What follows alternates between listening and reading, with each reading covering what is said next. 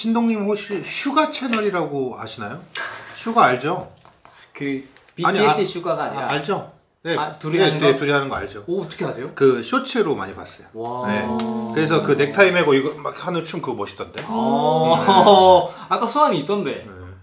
수가가 근데 누구 누구예요? 그건 몰라요. 아, 그 한 명이 이름이 수환이라는 친구고 한 명이 가은이라는 친구 합쳐서 아, 수가. 어 가은 알죠? 아, 가은 많이 들어봤어요. 어, 어, 둘이서 하는 채널인데 확실히 많이 보시는구나. 네, 김수환 이가은. 약간 이렇게 트렌드 같은 것도 이제 보, 아셔야 되니까. 그렇죠. 음, 그래서 많이 그, 본 거에 있을 텐데 봤었어요. 그래서 아트비트는 보지 않지만 수가는 보시는군요. 어,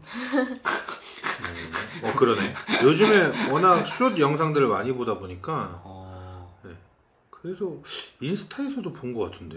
음, 얘네들 되게 잘 나갔네. 수가 나왔네. 하하, 영광입니다라고. 이 친구거든요. 스마일.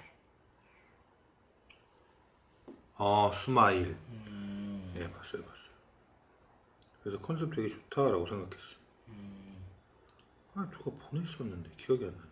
누가 나한테 보내가지고 어 이거 괜찮겠다.